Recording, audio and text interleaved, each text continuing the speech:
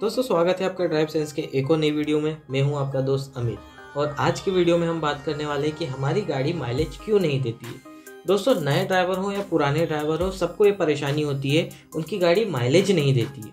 आज के वीडियो में हम जानेंगे कि हमारी गाड़ी माइलेज क्यों नहीं देती है और उसको कैसे हम ठीक कर सकते हैं ताकि हमारी गाड़ी अच्छे से अच्छा माइलेज दे। तो चलिए दोस्तों, वीडियो स्टार्ट करते हैं। दोस्तों, आज के समय में पेट्रोल और डीजल के बढ़ते दाम के बीच में अगर आपकी कार का माइलेज भी खराब हो जाता है तो इससे बुरी स्थिति कुछ नहीं हो सकती। लेकिन क्या आपने कभी सोचा है कि आपकी कार माइलेज क्यों नहीं दे रही, क्यों खराब हो रहा है अपनी गाड़ी का माइलेज? असल में इसके पीछे कई कारण हो सकते हैं, जिसका समय पर ध्यान रखना बेहद ज़रूरी है। अगर आप इन कारणों को नहीं जानेंगे तो आपकी कार का माइलेज बिगड़ना लगभग तय है।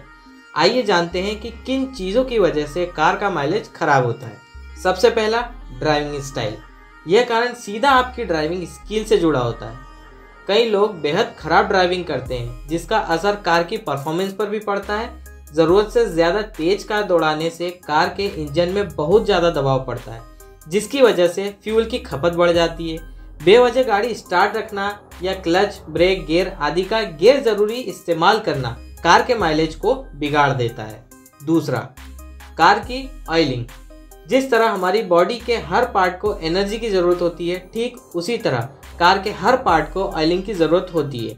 कार के पार्ट्स के नियमित ऑयलिंग करने से कार के पार्ट्स स्मूथली काम करते हैं। इसीलिए कार के इंजन पर दबाव नहीं पड़ता है और ऑयलिंग नहीं होती है तो कार के पार्ट्स हार्ड हो जाते हैं, जिसकी वजह से फ्रिक्शन बढ़ जाता है और ऐसे में इंजन पर बुरा ज़ोर पड़ता है और माइलेज में कमी आती है। तीसरा कार का फ्यूल पंप अगर आपकी कार का फ्यूल पंप सही से काम नहीं कर रहा है तो माइलेज पर असर पड़ना तय है। फ्यूल टैंक में से फ्यूल इंजेक्टर तक फ्यूल को पहुँचाने का काम फ्यूल पंप करता है। अगर फ्यूल पंप में कुछ भी खराबी होती है तो फ्यूल की सप्लाई में अड़चन पैदा हो जाती है। ऐसे में इंजन पर गैर ज़रूरी प्रभाव पड़ता है और फ्यूल की खपत भी बढ़ जाती है। चौथा, कार के टायर। कार के टायर भी बेहतर माइलेज बनाए रखने के लिए मदद करते हैं। टायर पर ही पूरी कार का दबाव होता है। अगर टायर की स्थिति अच्छी रहेगी तो कार के परफॉर्मेंस भी अच्छी रहेगी। कार के टायर में हवा कम होने से इंजन पर कार को मूव कराने में दबाव बढ़ जाता है। ऐसे समय में ज़्यादा प्रेशर की ज़रूरत पड़ती है, जिससे आपकी फ्यूल की खपत बढ़ जाती है। पांचवा, इंजन के पार्ट्स किसी भी कार का पावर हाउस उसका इंजन होता है। अगर इंजन की स्थिति खराब होती है तो कार का माइलेज भी खराब हो जाता है।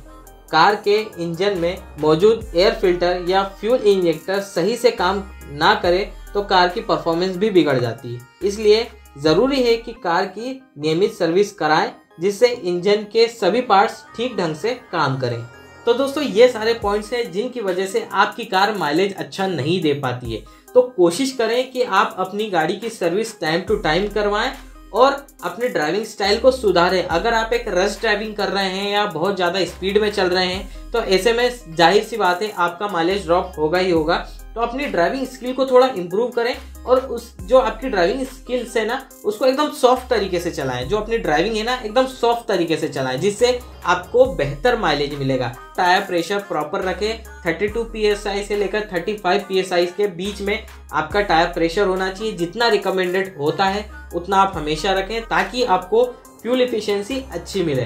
तो ये सारी चीज़ें आप ध्यान रखोगे तो अपनी ड्राइविंग भी अच्छे से कर पाओगे और आप अच्छे से अच्छा आप माइलेज भी निकाल पाओगे। उम्मीद है दोस्तों, आज के वीडियो में जो मैंने बताना चाहा, आपको सब कुछ क्लियर हुआ होगा। अगर आपको वीडियो समझ में आया होगा तो थोड़ी सी भी इस वीडियो से आपको हेल्प मिली होगी तो इस वीडियो को लाइक करें, अपने दोस्तों के साथ शेयर करें। चैनल पर नए हो तो चैनल को सब्सक्राइब करें, साथ ही साथ बेल आइकन को प्रेस करना ना भूलें, ताकि इसी तरह के इन्फॉर्मेटिव वीडियो आप तक पहुँचते रहें। तो चलिए दोस्तों, फिर मिलते हैं नेक्स्ट वीडियो में। तब तक के लिए stay safe and good bye